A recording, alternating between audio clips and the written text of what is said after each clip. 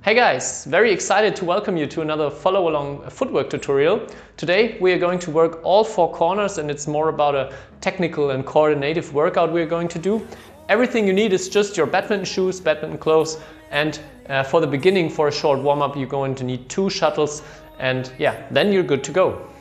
Today's focus is mainly technical and also uh, we're going to work on coordinative skills in a very badminton specific way. So you can also do it when you're just starting out, but also a good session for intermediate and advanced players. So enough of the words, grab your shuttles and then ready to go. Okay, so to get started we're going to need our two markers or here I'm using two shuttles and we put them around one meter apart and now we're going to start with a light warm-up. So we start by just jogging around in the shape of an eight. So let's go. Try to work very light-footed on the front foot. Be as quiet as possible with your steps. And now we're going to change the direction. We go the other way around, always facing the front, never turning around. Small, easy steps.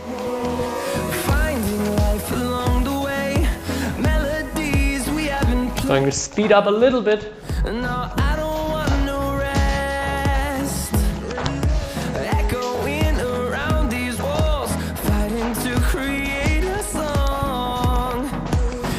All right. Next up, we're going to do the same thing, but now with sideways movement. So we're going the diagonal with side steps. We're going to the side and the diagonal again. So a bit of a Z, uh, a bit of a Z shape. Try always to stay low. Once again on the front foot. Quiet again. And the feet always stay apart. They never touch each other.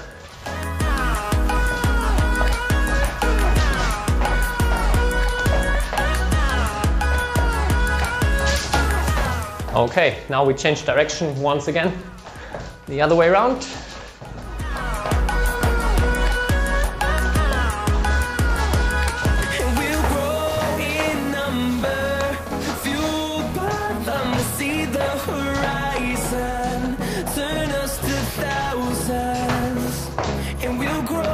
Few more seconds.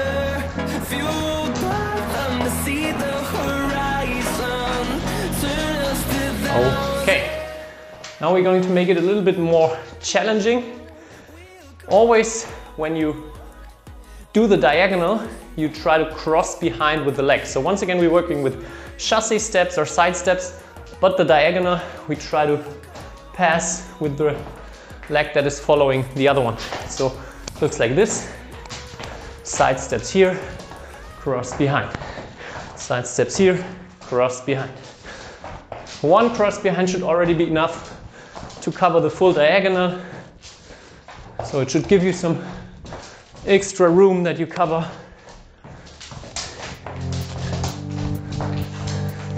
Once again, try to stay light-footed on the front foot, especially when you're going sideways here. Okay, the other way around, we also try it with the other leg crossing behind.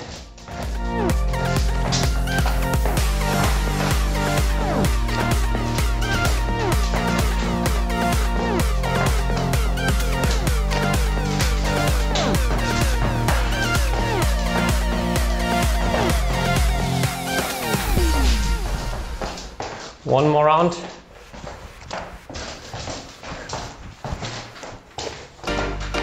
Okay, very good, very good. So final round of warm-up, we're going to make some hop steps here for the diagonal forwards and a little bit more challenging also backwards. So we always hop on the same leg twice. Now we go a little bit more upright. Here we go a little bit down for the side steps and then upright hops always twice on the same foot. Go low for moving sideways go up for the hops. Try to mix between these two things. Always keep moving. Always fluent from one type of movement to the next one. Okay, and we go the other way around.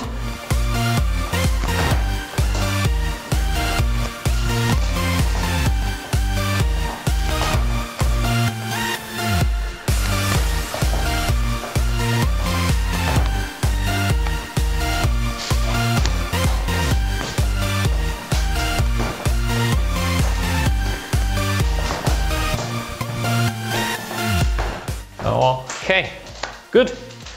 We can put the shuttles away and we can dive into the first corner. We are going to start with the forehand side front court. So for me as a right-handed player, I go to the right side, lefties go the other way. And now in every corner we are going to do three rounds. First round and second round I show you two different types of going in and out of the corner. We're doing that for 40 seconds. We got 20 seconds break afterwards. And then in the third round, we're going to mix it up. So try to do always alternating type 1 and type 2. So I'm going to show you type 1 and type 2 for the forehand side here. First thing, now you, because I also only have little space, I go a little bit to the left and further back. So I have, I only need space here. So it will also work at your place if you are very, very limited space. So we're always going to start with a split step where we turn into the direction where we want to go. And we make a side step, a lunge, side step, and then we are back. So this is the first one. The second one, now we try to use the cross behind. We also just did in the diagonals. And we want to move back with running steps. So we're going like this, cross behind, lunge, and then we walk back or kind of more like walk back with both legs. So not chassis steps, but cross behind and walking back. Cross behind and walking back. So those are rounds one and two. As I said, we start with the side step version and we're going to start in five seconds. Get ready and let's go.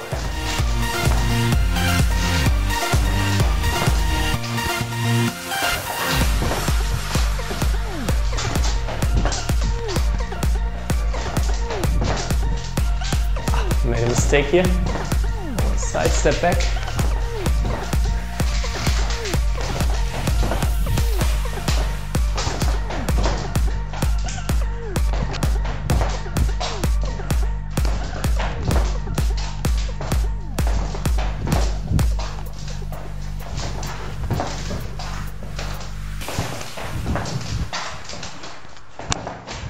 Okay, 20 seconds break, then we go into the other way of moving. So cross behind and then walk back or go back left, right, left, right. Get ready and let's go. Cross behind, walking out. Cross behind, walking out. You can pull one leg a little bit forward, so the lunge and the other way, other leg goes a little bit forward now here in the lunge. So you can go easy out of the corner.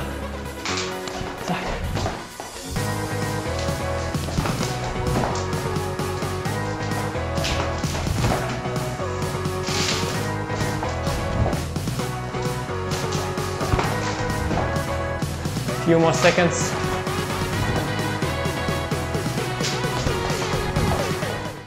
Okay, last round. As I said, we try now to always use type 1 and type 2. If there was one level that was already very challenging for you, you can also stick with that, do one more round of that. But I'm going to try to do type 1, type 2. Always differentiate between the two versions. Okay, let's go. Side step, cross behind and going back. Side step, cross behind and going back.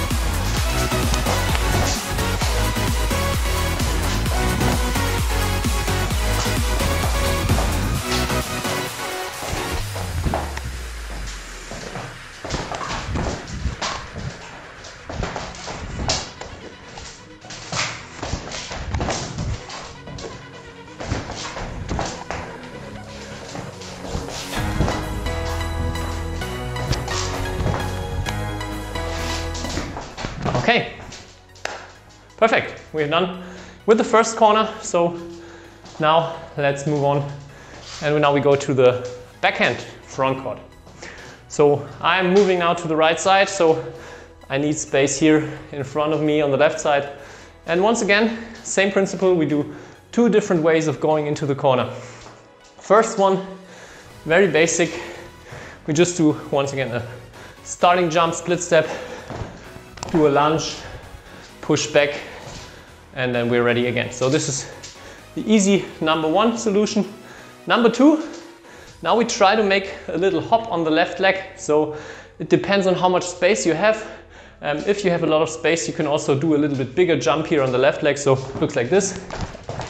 And then also here we walk back again. Tack. We walk back again. So I show you once again before we start. Number one, just split step, lunge, push out. Level two, split step, hop on the left, and we walk back with a little bit smaller steps. Okay? So get ready for round number one, and let's go.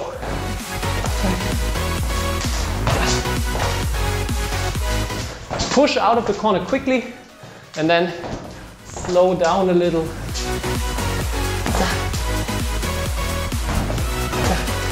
Quick start and quick step out of the lunge. In between you can slow down.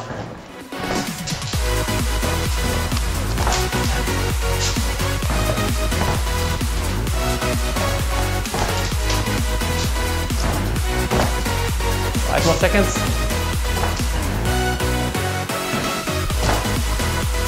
And go. Okay? Now the other way.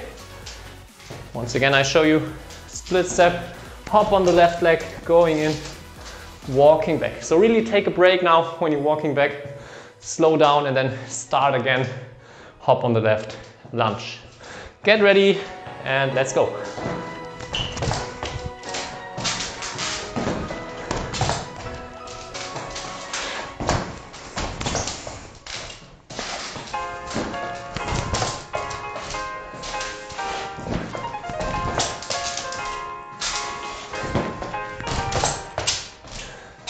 Win a little bit of space with that jump.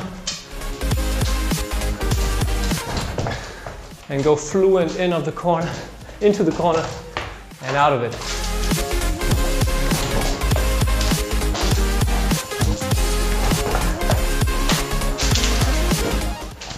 Okay, and stop. Once again, we mix it up. Style one, stepping in and stepping out. Style two, hop on one leg and walking back. Whew. Five more seconds. We get ready and let's go.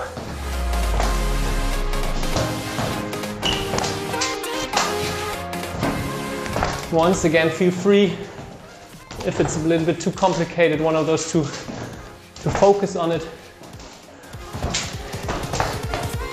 Or try to mix it up.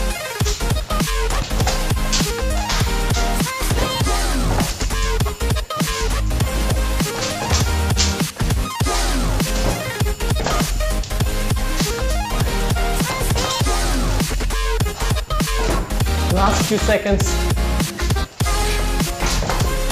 Okay, good. So front court finished. We are moving to the rear court. And once again, we want to use two different rhythms or patterns to go into that corner. And we are going to start once again on the forehand side. Rhythm number one or pattern number one. Now I move a little bit forward so I have space here. It's just split step, and a jump without any turning of the body. So I jump, go in and go out with side steps. So it looks like this, jump, side step, jump, out side step, jump, side step. Number two, we want to use our cross behind again. So we start, I cross behind, push out of the corner, and then I take a huge step with the, for me as a right-handed player, right leg. So it looks like this, cross behind, step out, and I'm back again. Cross behind, step out, I'm back again. So here, more like walking out of the corner again. Number one, side steps. Number two, cross behind and walking. So we get ready and we start in five seconds with third corner. Let's go.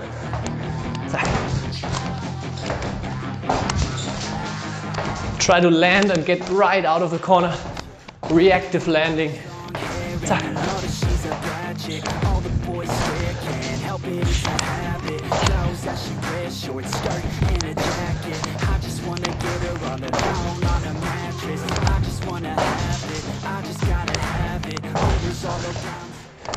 If you have enough space, feel free to grab a racket for the next round so you can also pretend you're hitting a shot here. Or do it with your arm. And stop. Okay, we go to version number two. We cross behind, step out of the corner.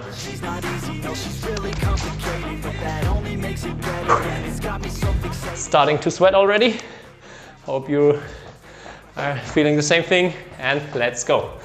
Cross behind, step out, start again. Try to quickly step out of the corner and then slow down when you get back towards the middle. So you can adjust the tempo that you can work all 40 seconds. If you're very fit, speed it up a little. Now in the match we're a little bit more under pressure here, so we take the shot lower. We want to get ready after our shot right again. Okay, good. Now we mix it up. Maybe one thing I forgot to mention, maybe you've seen it now when I do it. When we step in on version number two, try to let the foot point not into the corner like with the normal lunge, but more forwards. So focus on that. And now we mix it up, jump and step. Let's go. Jump, side step, cross behind and step out of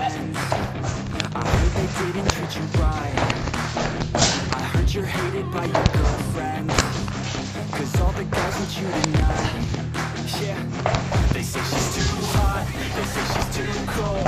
Where she came from, nobody really knows. They say she looks young, but say she acts old. From everything I've heard, she gets out of control the boys say she was sent from the heavens But I'm not too sure that this girl is a blessing She's Last two seconds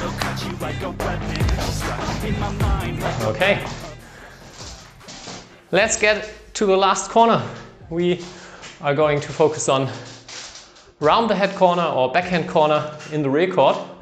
And now we want to do, we want to do two different things.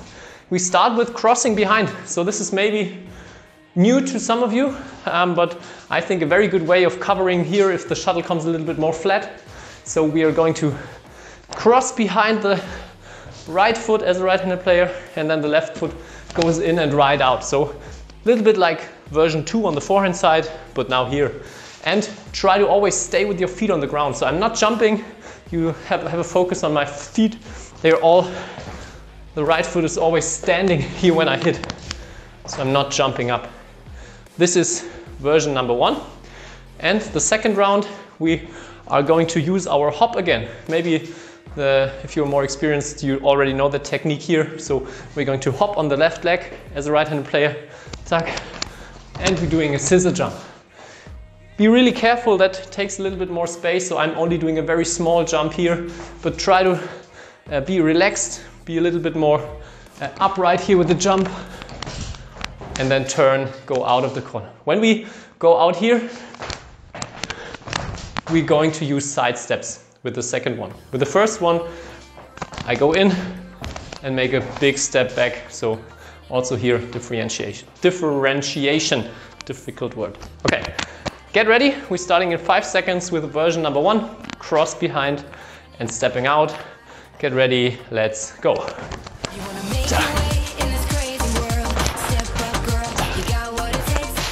Raise your arm also when you go back. Imagine you want to catch the shuttle very early. You don't want to let it pass you.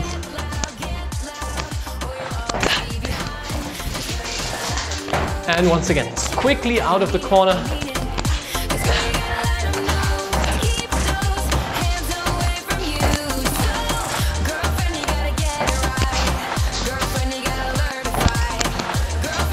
Few more seconds. Last one. Okay. And next up, we're going to do the hop, turn, scissor jump, and chassis back.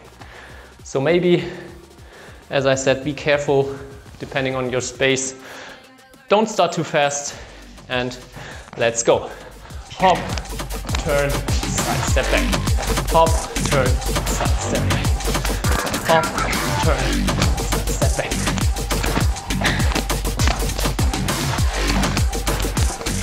So the left leg here is really leaving the floor for a short moment.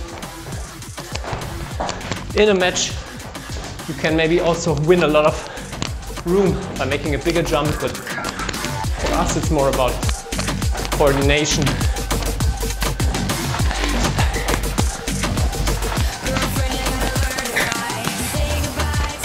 Last few seconds. Okay, good. Final round, we try to mix up those two. Maybe the most challenging thing, totally different patterns or almost totally different. First time step, cross behind, second time the jump. Get ready, three seconds and let's go. Cross behind out, jump and chassis. Cross behind, and chassis.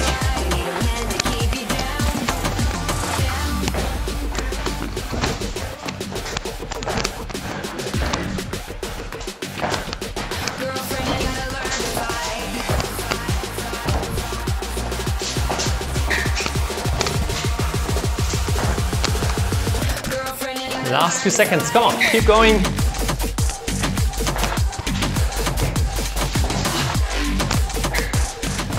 Okay, good. We're done. Well done. Good workout. Okay, as I promised, I got a little bit sweaty. I hope you got too. And I think it's very important that we have a lot of different variations in terms of footwork on court. These were just two for every corner. And there are tons and tons of other possibilities to get in and out of the corner, always depending on the situation, but also depending on how tall you are, for example. So this is totally influ influencing the way you should move on court. So the question now is how much energy you have left. Um, I hope you have enough energy left to hit the like button and also subscribe to my channel to support me if you're not already following. And then if you are maybe still fresh and want to uh, do a little bit more intense workout, this could be an option for you. Um, otherwise, I hope I see you next time for the next workout or next video. Have a good time. Bye bye.